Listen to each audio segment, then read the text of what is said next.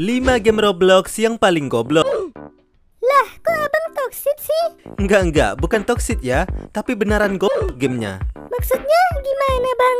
Ya, jadi game-game yang akan kita bahas kali ini tuh Saking gak jelas dan nyelenehnya Malah bisa membuat kita bilang bahwa game ini benar-benar Nah, pastinya kalian penasaran kan game-game apa saja yang kita maksud tersebut? Langsung saja kita masuk ke videonya. Oh iya, disclaimer, video ini bukan bermaksud untuk menghina atau menjelek-jelekan game tersebut ya Melainkan hanyalah dibuat untuk sebagai sebuah informasi yang dikemas dalam bentuk lelucon Karena gamenya tetaplah bagus dan seru buat dimainin, oke? Okay? Oke okay. Ya udah deh, tanpa berlama-lama lagi, langsung saja kita masuk ke videonya Nomor 1, Poop with Friends Ya, sesuai namanya, game ini mempunyai tema tai atau berak gitu Ya, jadi di sini para pemainnya akan melakukan ritual berak di berbagai macam tempat permainan. Jadi di sini tuh kalian bisa memainkan pup kalian, bisa kalian luncurkan di prosotan, bisa kalian lemparkan. Intinya pup di sini tuh bisa kalian jadikan berbagai macam jenis permainan.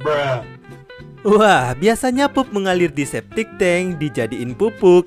Ini malah dijadiin permainan dong. Mantap sekali ya. Dan di sini tuh dilengkapi dengan berbagai macam toilet, mulai dari toilet yang biasa, toilet emas, hingga toilet raksasa.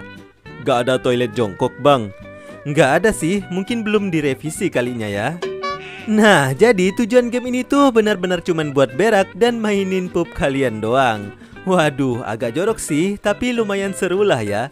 Lagi pula cuman di game doang kok, ya kali di dunia nyata gitu kan. Game ini sendiri sudah dimainkan sebanyak 16 juta kali. Wow.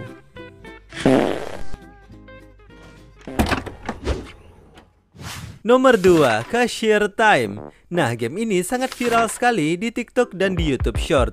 Bahkan game ini mendapatkan 7 juta kali views di YouTube. Namun game ini ternyata malahan banyak dihujat karena ya bisa kalian lihat sendiri ini. Hmm, kalau karakter perempuan sih masih mending ya kalau mainin game ini.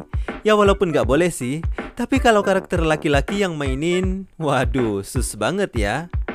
Nah, walaupun begitu sus, game ini ternyata memiliki ending yang berbeda-beda dan sangatlah kocak. Coba kalian lihat sendiri ini.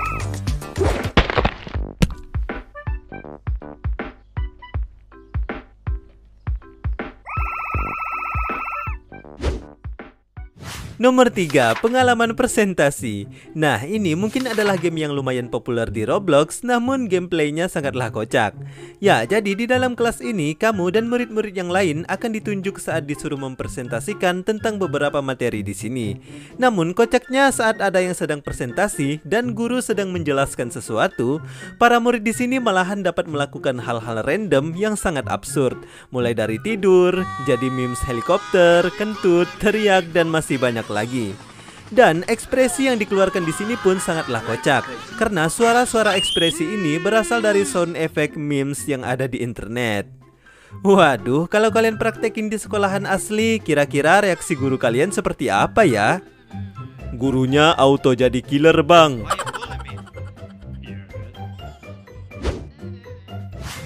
Nomor 4, Be a Wall. Ya, game ini tuh paling gak jelas banget. Di dalam permainan ini yang hanya bisa kamu lakukan yaitu menjadi manusia dinding dan cuman jalan gitu-gitu doang. Cocok banget sih ini buat para kaum yang suka gabut. Nah, walaupun begitu gak jelas, game ini telah dimainkan sebanyak 2,5 juta kali dan telah difavoritkan sebanyak 49 ribu kali. Waduh, ini yang mainin pasti memang kurang kerjaan kayaknya ya. Nomor 5, Stupid Idiot Cafe atau Cafe Bodoh Idiot. Ya, sesuai namanya, game ini memiliki tema roleplay di sebuah kafe. Namun, kafe di sini sesuai dengan namanya yaitu stupid, yang di mana di dalam kafe ini kamu tidak akan tenang karena yang terjadi di sini adalah sebuah kerusuhan yang dilakukan oleh para playernya. Di sini orang-orang dapat memukul, menembak, dan lain-lain. Intinya ini tuh sebenarnya tempat gelut yang berkedok kafe. Ya, tapi sesuai namanya lah ya, yaitu Stupid Idiot Cafe, di mana semua yang berada di sini adalah orang-orang idiot dan bodoh. nah guys, kalian pernah mainin game ini nggak? Kalau pernah berarti kalian eh pinter dong, karena penonton saya pintar semuanya ya. Oke lah teman-teman, jadi itulah tadi beberapa game paling goblok yang ada di Roblox. Nah, menurut kalian game yang mana yang paling nyeleneh atau goblok? Silahkan kalian komentar di bawah ya. Dan jangan lupa juga untuk klik tombol like, komen, dan subscribe-nya. Dan sampai ketemu lagi di video berikutnya. Bye-bye.